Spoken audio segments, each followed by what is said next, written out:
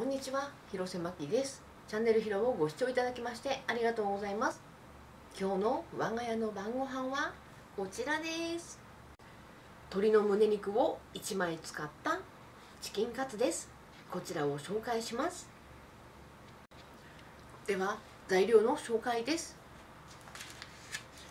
国産若鶏胸肉が1枚。カツなので小麦粉卵。パン粉を使います。胸肉の下処理が終わったので軽く下味をつけていきます。塩コショウとテーブルコショウこちらを使います。サラサラサラっと。コショウはちょっと多め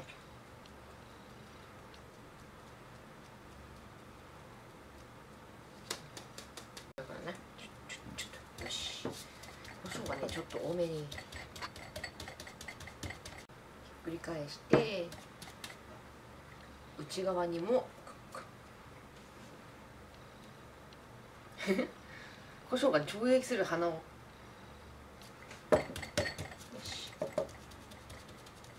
お肉に下味がついたのでこちらを一旦置いといてこれから溶き粉を作ります。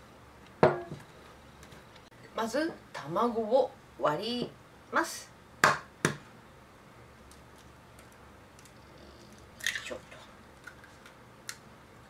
これをほぐす卵が混ざったらここに小麦粉を加減しながら入れていきます。もうちょっと。1枚足りる？お水も少し加えながら作っていきます。様子見で。もうちょっとこんな感じのとろみがつきました。これを鶏の胸肉につけていきます。ではまず鶏の胸肉を溶き粉につけていきます。よいしょ。あいい感じの。濃さだこれ。溶き粉がしっかりついたら次にパン粉をつけていきます。とよいしょ。もったいないから生地。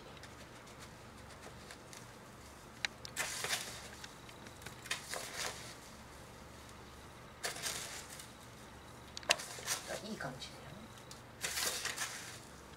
パン粉は細かい方が油の吸収が少ないのでこうやって細かくして振りかけます。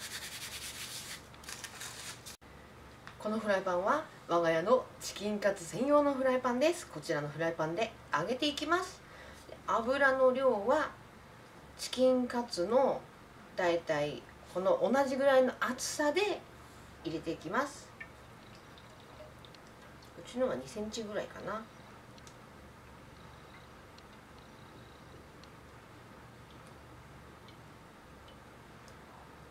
こんなもんかな？もうちょっとかうい。これで火をかけて。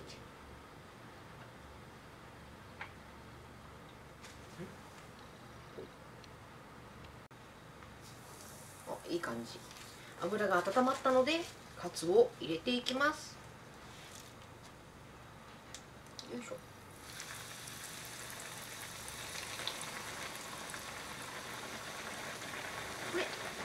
おいい感じ。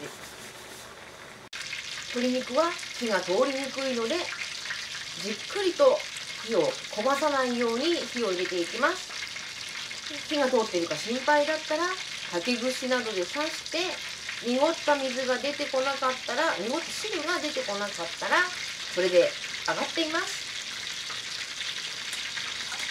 火が通ったので揚げていしょ。これで油を切っていきます。油も切れない。重たくて。よいしょ。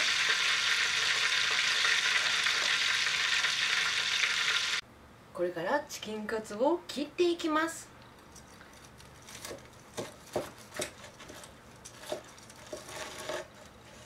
おおサックサク。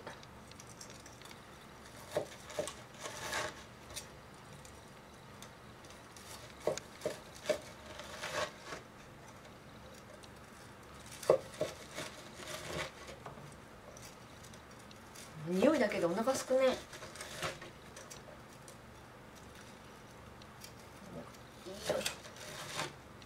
切れた。これをお皿に持っていきます。ちょっと待って。どっか切れてないぞ。この辺かな。よいしょ。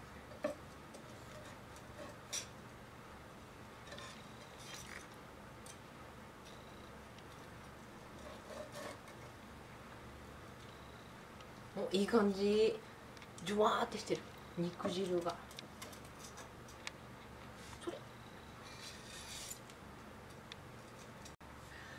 完成です。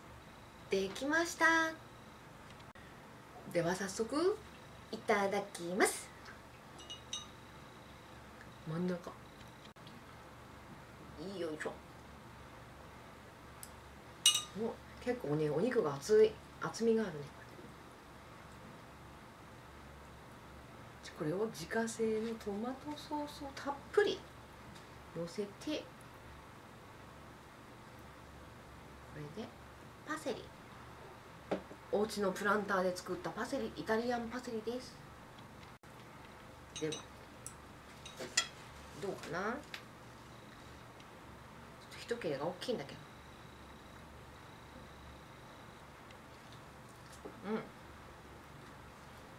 うんうんうん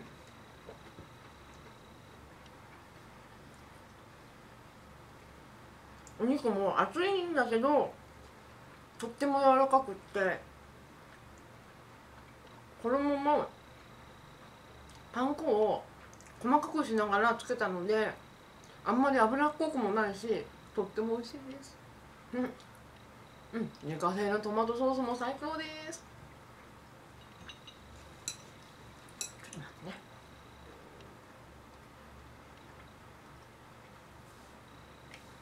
今日の我が家の晩ご飯はと鶏の胸肉を使った鶏の胸肉を1枚使ったチキンカツの紹介でした。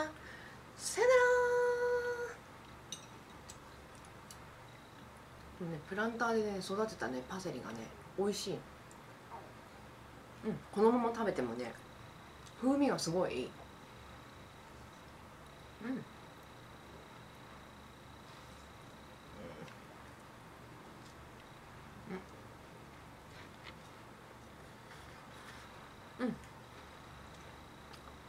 いい味してる。